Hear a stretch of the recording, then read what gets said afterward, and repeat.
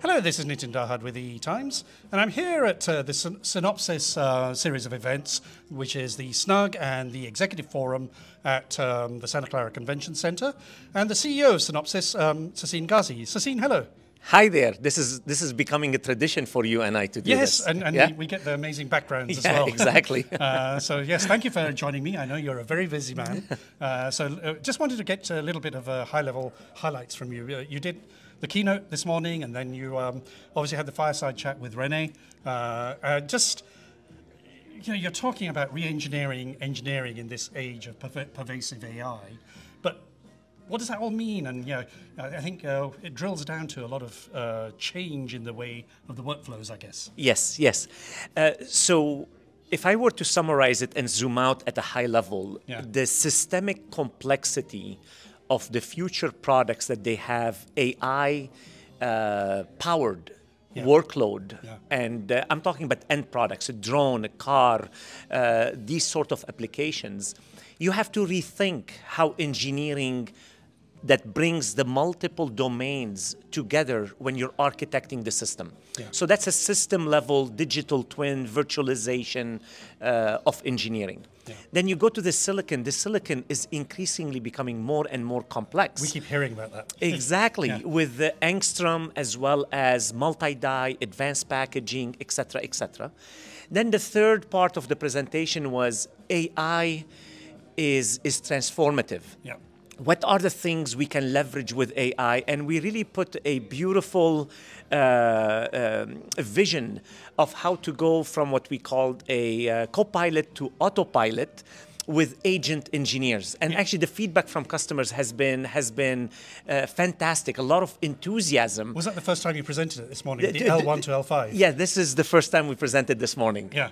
And, and so the feedback was good? V- actually very very good feedback from uh, the customers and right now there are a number of panels that are talking exactly about so how do we use it in the workflow Yeah. because this whole uh, future in ai if it's not changing your workflow it's, it's taming the complexity but not necessarily addressing Yeah. the big challenge of uh, the, the exponential complexity And, and, and I think one of the quotes you used in your presentation was from Jensen Huang saying, We need a million engineers from Synopsys.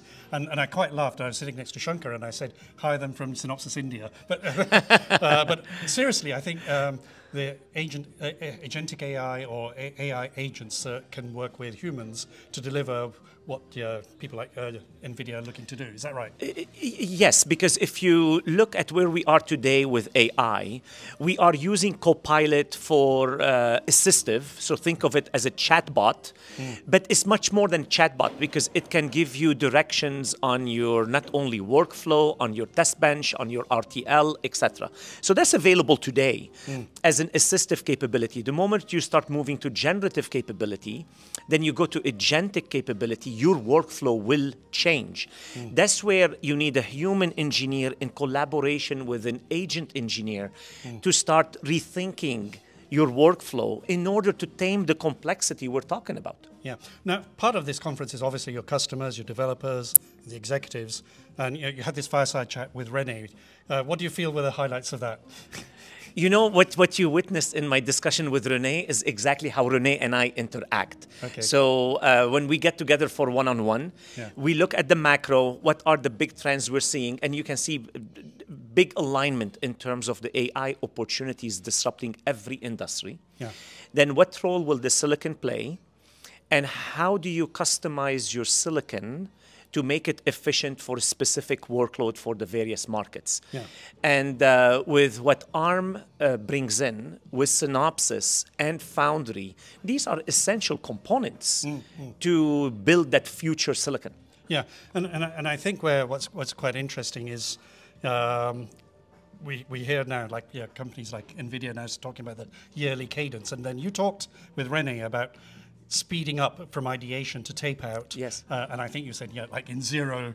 Uh, but I, just tell us a little bit about that, that, need to improve the design cycles. Traditionally, we've been like two or three years design cycle. It's being accelerated now. isn't it? Exactly. So So- it's more complex. So there is the actual silicon design cycle, but then there's another uh, speed up that is needed is once you put that silicon inside the system, Yeah.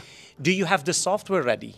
Yeah. Has it been designed before the uh, silicon is available? And that's where the whole uh, digital twin, virtualization, etc., is needed Yeah. to shorten the time from silicon to system to the end product and end market.